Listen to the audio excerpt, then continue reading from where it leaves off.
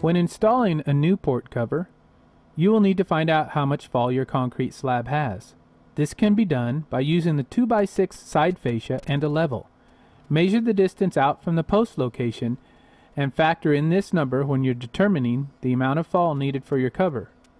For proper drainage, the roof panels must be installed with a minimum of 1 half inch slope per foot of projection.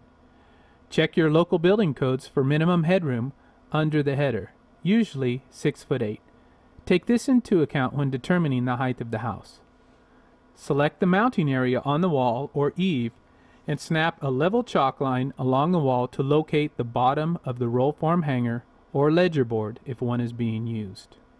Determine the location of the posts from the house. This is normally 1 to 2 foot less than the overall projection of the cover. Take into account the type of end caps ordered with your cover and how you want the end result to look. Snap a chalk line on the concrete parallel with the house at your determined post location. You will use this line to mark your post locations. The post should be at least 4 inches away from any edge of the concrete slab or expansion joint and 30 inches away from any crack. The cover must be laid out square with the house. Your concrete slab may not be square, so do not take measurements off your concrete slab. Use a framing square or the 345 method to mark a perpendicular line from the house representing the side edge of your cover. Some obstacles can be in the way, such as steps and other things. Use your ingenuity to overcome these things.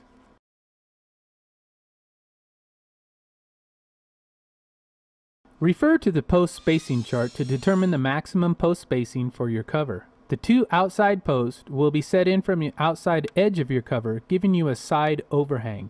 This overhang may not exceed 25% of the maximum post spacing. On larger covers, the header may come in two or more pieces. The header splices must be centered on a post. Take this into account when calculating the post location. Locate the studs in the wall or the house rafters behind the eaves. Transfer these marks below your chalk line so you'll know where to place your screws when installing your roll form hangers.